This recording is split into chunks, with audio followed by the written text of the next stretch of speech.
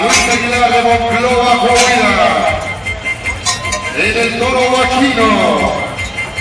Un toro fuera de serie. Ha derribado al campeón.